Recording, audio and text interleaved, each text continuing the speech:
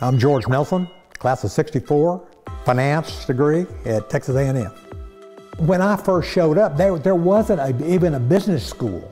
They were continuing to advance what was available in the area of, of the business environment. The year after I graduated, they actually established the school. Well, I walked the, the streets in Houston looking for a job, and the one that I eventually took uh, was at Bank of the Southwest. They hired me because I was an Aggie, because I had been in the Army and had a Aggie degree in finance. And thankfully, it all worked out well, and 41 years later, I retired. If I hadn't gone here and if I hadn't been associated with, the, with these professors that helped me along, even before there was a business school, then very likely none of that would have come my way.